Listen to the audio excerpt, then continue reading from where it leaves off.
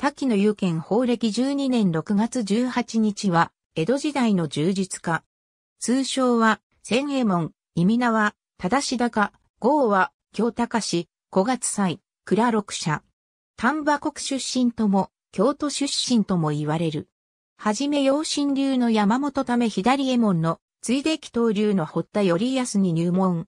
21歳で免許を受けた。堀田の死後、1724年京都に道場を開いた。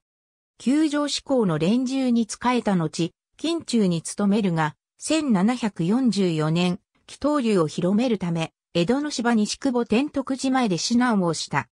1751年に一時京都に帰るが、法暦事件が起こり、帝神の武芸帝司令の発布により、大阪へ移る。だがここでも、武芸講師のところ払い令が出て、再び江戸に戻った。晩年は多くの門人も離れ急亡していたが、皇帝の鈴木国教が世話をしたので、鈴木に流儀を譲った。1762年死去。入谷の全徳寺に葬られた。門人は計、大阪、江戸で計5700人を超え、鈴木国教、久喜高史直、犬上栄宝、竹中哲之助、蒲生豊号を輩出した。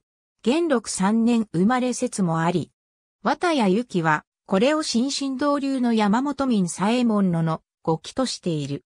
ありがとうございます。